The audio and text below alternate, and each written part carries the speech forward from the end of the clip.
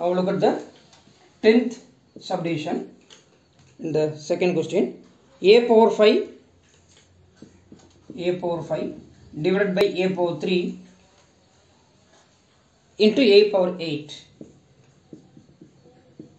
So it is in the form of a power m divided by a power n.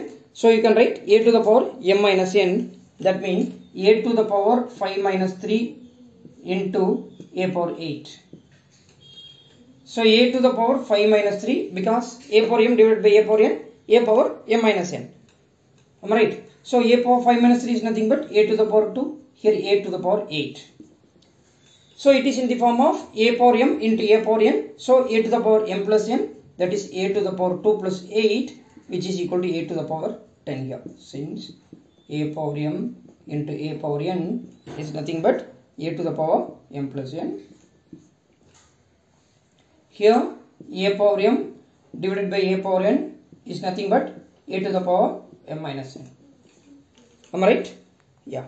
Now come to the next part that is subdivision 11. It is given that it is given that a power sorry 4 power 5 into a power 8 b power 3 a power 8 into b power 3 divided by 4 power 5 into a power 5 into b power 2 am I right? Now 4 power 5 4 power 5 you can cancel. Otherwise you can write like 4 to the power 5 minus 5 because a power m divided by a power n is a to the power m minus n. Then into a to the power 8 minus 5 since a power m by a power n is a to the power m minus n.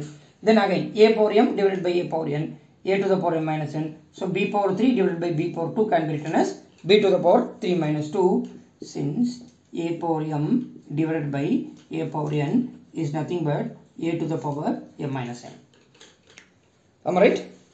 Now 4 to the power 5 minus 5 is 0 into a to the power 8 minus 5 is 3 into b to the power 3 minus 2 is 1 anything power 0 is 1 so 1 into a power 3 into b. That means a power 3 into b is the answer.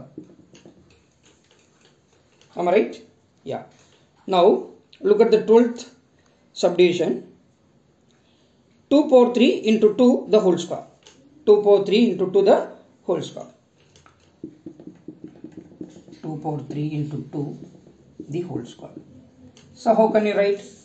Here we are having power as what? 1 every number has the power 1 so it is in the form of a power m into a power n. So you can write a to the power m plus n that is 3 plus 1 the whole square. It is nothing but 2 to the power 4 the whole square. So it is in the form of a power m the whole power n. It is nothing but a to the power mn so 2 to the power 4 to are what? 8 here are you getting here yes. We completed the question number 2 right? Then next day we will continue.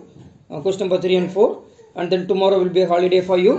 24 25 26 and 27 holiday for you. Uh, the same thing. You will get a YOLO message also. Thank you everybody. Happy christmas to all. Thank you